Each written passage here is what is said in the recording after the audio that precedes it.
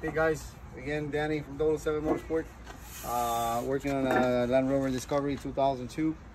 Uh, he uh, had a little fender bender here, damaged the fender and cracked it over here, and broke the light. Lights over there. The uh, fender is made out of aluminum, so it's uh, easy to replace it than to repair it. Mm-hmm. So now he wants to replace a fender. We already have a fender here painted, ready to go. Um, he wants to install a uh, snorkel from uh, this company. This company called uh, South South Down 4x4 products. But uh, what we got in the kit is the hose, that adapter, and the tube.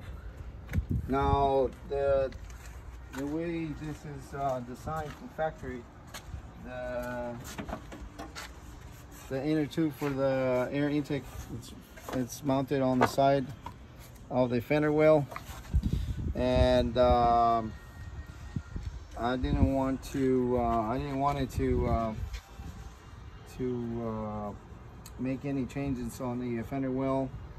So we're gonna try to make everything original as possible without having to make any modifications to, to the uh, inner structure. So in order to do that, uh, we grab another bracket, which is exactly the same as this bracket, this factory.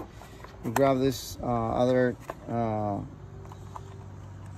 piece of a pipe, source, say, uh, uh, from another Discovery and we're gonna mount it on the on the inside but uh, we had a space difference over here because of the mm. the way the, the uh, inner structure is designed. So we made a spacer out of uh, Teflon. Cut it right here. Custom made we're gonna mount Teflon over here mount it with screws and seal it up. And then the adapter that comes with the kit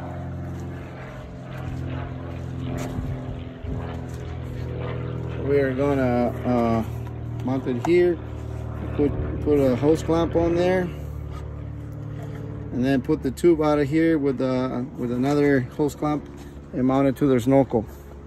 So it'll be all original and hopefully no leaks. We have to seal all this stuff up. All right so let's get, let's get to it. Let's do it